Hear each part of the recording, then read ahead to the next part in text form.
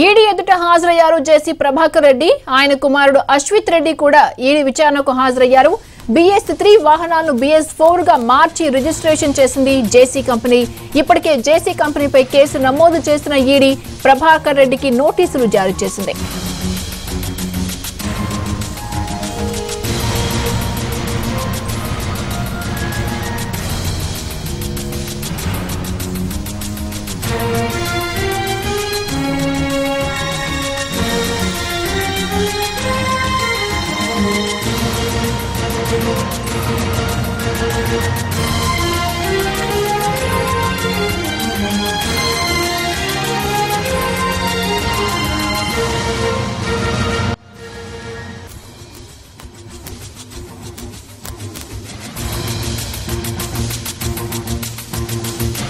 ED ఎదుట హాజరయ్యారు జేసీ ప్రభాకర్ రెడ్డి. ఆయన కుమారుడు అశ్విత్ రెడ్డి కూడా ఈడీ విచారణకు హాజరయ్యారు.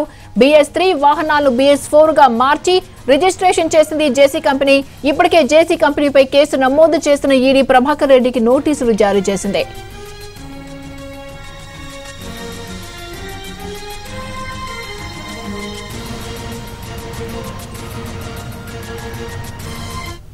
పెద్ద మనిషి ఇట్లా పెడతావు నువ్వు కదా? దొంగ కేసులు పెడితే భయపడండి వాళ్ళకి ఏం తెలుసు దొంగ కేసులు పాపం ఈడీ గారికి? ఏదో పెట్టారు వచ్చినాం అయిపోయింది. ఏం? నేనేమో ఏడ ఏం కబ్జాలు కానీ ఇంకోటి చేయలే. చెయ్యరు మీరు. మరి అట్ట నాకేం భయమే? ఈడీ ఆఫీస్కి వచ్చారు కదా సార్? ఎందుకు రావద్దు ఈడీ ఆఫీస్కి? వాళ్ళు రావాలి? పిలిచే రావాలా మేము పోవాలనుకుంటే పోతాము గవర్నమెంట్ కేసు. లారీలకు సంబంధించి. ఏం చేసింది నువ్వు? ఎవరు? నీకు తెలుసు కదా నువ్వే పెట్టావు కదా? కదా వద్దంత అయిపోయింది జైలుకి వేస్తారు పొద్దున రాత్రి. పద. ఆ, పక్కకు బా. నువ్వు పక్కకు బా. ఏం భయపడతాను నీకు? నాకు పొద్దు పోలే నేను వచ్చిన. ఎవరు పెద్ద మనిషి అయితే ఇట్లా పెడతావు నువ్వు? కదా దొంగ కేసులు పెడితే భయపడండి. వాళ్ళకి ఏం తెలుసు? దొంగ కేసులు పాపం ఈడీ గారికి ఏదో పెట్టారు వచ్చినాం అయిపోయింది. ఏం? నేనేమో ఏడ ఏం కబ్జాలు కానీ ఇంకోటి చేయలే. చెయ్యరు మీరు. మరి అట్ట నాకేం భయమే? ఈడీ ఆఫీస్కి వచ్చారు కదా సార్. ఎందుకు రావద్దు ఈడీ ఆఫీస్కి.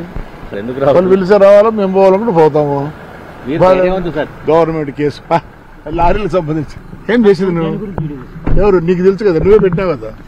పెట్టావు కదా వద్దంత అయిపోయింది జైలుకి వేస్తారు పొద్దున రాత్రి పక్కకు బా.